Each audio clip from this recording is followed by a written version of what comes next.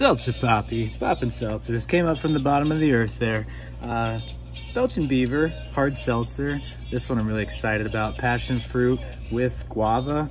Four ingredients, alcohol, uh, water, guava fruit, and uh, passion fruit. see what they got. Quick review here. Ah, right away, delicious. Passion fruit, first 50 percenter. It is a uh, lieutenant percenter, almost off duty there, you know what I'm saying? 5.5 per center. 5.5 percenter. Uh, tastes delicious. Passion fruit, guava, real fruit juice. I'm just gonna give a yug for the rest of this. It's delicious.